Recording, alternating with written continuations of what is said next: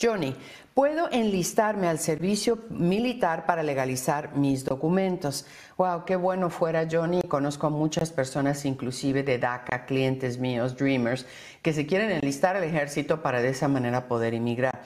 Hubo leyes y existen todavía para personas que en el pasado eh, inclusive estuvieron en el ejército y pelearon ciertas guerras y pueden a veces hasta derivar la ciudadanía estadounidense. Pero ahorita en día, el Army, el Marine Corps, Air Force y demás no lo van a dejar enlistarse al menos que tenga residencia permanente o ciudadanía de Estados Unidos. Entonces, si se enlista al servicio militar, por favor no mienta diciendo que tiene residencia, entregando papeles o documentos falsos, o diciendo que es ciudadano y entregando un acta falsa porque eventualmente, aunque lo acepte en el ejército, le podría afectar en el futuro cuando tenga manera ya de inmigrar. Así es que por ahorita, Johnny, hasta que tenga usted legalidad, no puede enlistarse, no lo deben aceptar las Fuerzas Armadas ah, para legalizar su documentación.